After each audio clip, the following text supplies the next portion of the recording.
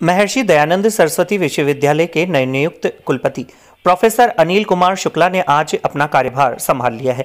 लखनऊ के ख्वाजा मोइनुद्दीन चिश्ती भाषा विश्वविद्यालय के कुलपति पद से रिलीव होकर वह ख्वाजा गरीब नवाज़ की धरती पर पहुँचे और राज्यपाल के आदेश अनुसार कुलपति का पदभार ग्रहण किया। इस मौके पर अजमेर एमडीएस विश्वविद्यालय के प्रोफेसर शिक्षकों ने उनका अभिनंदन किया।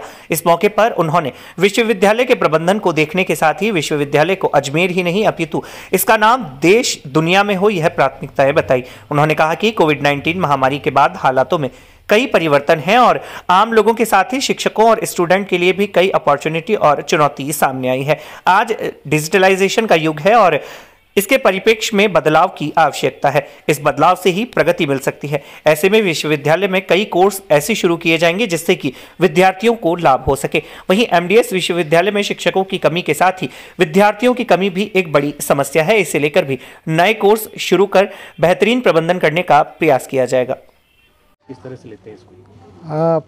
निश्चित रूप से राजस्थान बहुत पवित्र भूमि है। ये पृथ्वीराज चौहान का शहर है, ख्वाजा जी का शहर है। और यहाँ संभावनाएँ बहुत हैं। तो निश्चित रूप से थोड़ी बहुत जानकारी आप लोगों के माध्यम से ही मिली, जो अखबारों में निकलता रहा। वो स्थितियाँ दिमाग में हैं। उनको ध्यान में रखते हुए किस तरीके से आगे बढ़ा जाए, ये समय के साथ हम यहाँ के शिक्षकों, कर्मचारियों के साथ बैठ करके, तय करके और प्लान तय करके निश्चित रूप से आगे बढ़ेंगे हमें विश्वास है कि अगर संभावनाएँ हैं उनको सही दिशा दी जाए तो निश्चित रूप से विश्वविद्यालय आगे बढ़ेगा। एक कई सर इनोवेशंस की भी ज़रूरत है समय के साथ हाँ देख देखिए ईश्वर ने हमको ये मौका दिया है कि मैं दो विश्वविद्यालयों में वाइस चांसलर रहा हूँ पहले। लखनऊ विश्वविद्यालय से जुड़ा रहा हूँ। डिपार्टमेंट एजुकेशन रहा है। तो इनोवेशंस नई एजुकेशन पॉलिसी सरकार की अपेक्षाएँ, प्रदेश में संभावनाएँ, विद्यार्थियों की अपेक्षाएँ ट्वेंटी फ़र्स्ट सेंचुरी की जो सेंचुरी जो हमसे अपेक्षा कर रही है, उनके बीच में तारतम्य बिठाना चाहिए। हमें लगता है कि जो सामाजिक सरोकार हैं, जो युवा वर्ग के सपने हैं, जो कर्मचारियों की अपेक्षाएँ हैं, इन तीनों के बीच में तालमेल करके अगर हम विश्वविद्यालय को आगे ले जा सके तो खुशी होगी। मैन सोर्स पर मैन पावर है लेकिन उसी की भारी कमी है। अभी तक जितने भी विषय आए काफ़ी प्रयास भी करें लेकिन जो रिक्त पद हैं उन पर भी भर्तियाँ नहीं हो पाई।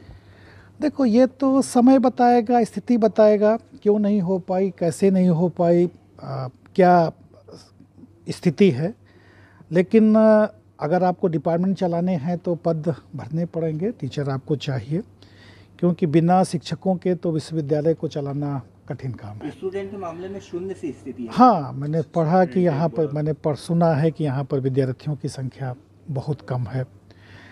आ, हमें लगता है कि अगर आप कुछ वैसे कोर्सेज दे पाए जिनको युवा वर्ग सोच रहा है कि इन कोर्स में खाली आप ट्रेडिशनल कोर्सेज दे करके विद्यार्थियों को बहुत अट्रैक्ट नहीं कर सकते हो। एक कोर्स में अगर 40 सीट के एवज में डेढ़ सौ आवेदन आते हैं फिर भी कोर्स रन नहीं देखिए देखिए देखिए डॉक्टर साहब अब ये पहले क्या हुआ मैं उसके बारे में बात नहीं कर सकता।